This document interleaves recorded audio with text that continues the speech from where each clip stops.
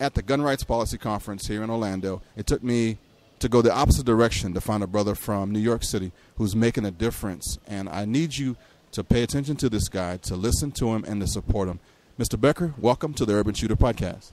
Ken, I'm so delighted to be here, and uh, what a blessing to be on your on your program. You know, uh, we were speaking earlier, but I'm running against uh, Carolyn McCarthy now. Carolyn McCarthy, as many of your listeners may recall, she w- had a tragedy, and uh, we're very sorry about that. Uh, that she, uh, you may recall that Ken Ferguson was on the Long Island Railroad. Her husband was shot and killed, and her son was was injured.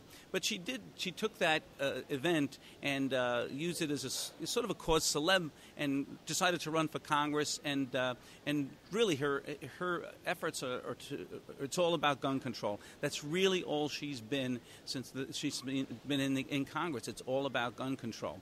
Uh, she's a one issue, pretty much a one issue candidate. And, you know, I, she is, uh, you know, a gun control enthusiast or advocate's worst nightmare. We call her the queen of gun control uh, uh, up on Long Island. And, and I'm looking this November to finally dethrone this, this woman. And, uh, and, you know, something we talked about uh, earlier that, that not only is is, is, there an attack on the Second Amendment? We understand there's an attack on the on our Constitution in its entirety. Look at what's happened: religious freedom in our country. Uh, it's it's it's unbelievable. Things that you couldn't even have imagined, even maybe two or three years ago. Uh, look at the Democrat convention. I mean, they want to remove God from uh, from their platform. I mean, how many times is God mentioned in uh, in our Constitution in our Bill of Rights? I mean, God is the center, and faith is the center of our country and what we believe. And as we as we always say, our rights, our inalienable rights, don't come from government; they come from God. And I think that I think that for some people, they want they want government to be the, their God, and then you know that would be devastating for a country because then we truly lose freedom, all freedom. But also, uh, it's important that your listeners know that uh, two years ago I ran against Carol McCarthy. I took 46% of the vote.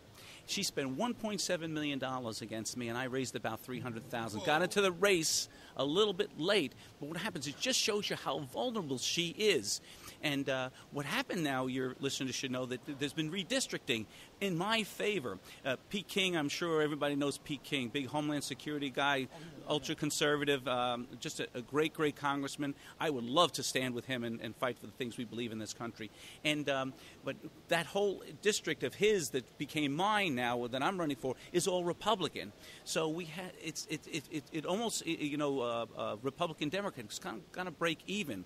But you know, once again, as you can see, the money that I raised last time, as little as it was, I almost defeated her. So I'm reaching out to your listeners and would really, really appreciate their support. And we know gun enthusiasts, gun advocates, pro Second Amendment people, they're passionate about what they believe, and they'll send their dollars to people who they believe are going to carry the cause, which I will, and proudly so. Uh, I'm a member of the NRA too, uh, and uh, I should, uh, and also they should look at my platform on my website, which is beckerforcongress.com. So.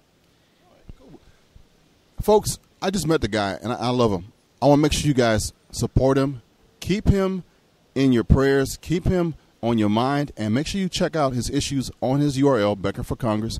Um, go ahead, man. What you got? No, I just wanted to do one more thing. You know, we, you know, Ken, we were discussing before. This is uh, there's a civil war going on in this country today, and this war is not being waged, and it will not be waged in the battlefields of Lexington and Gettysburg, but it's being waged in the hearts and minds of everybody who calls themselves an American and believes what this country can and should be. You know, w- this is a country that defeated the Nazis.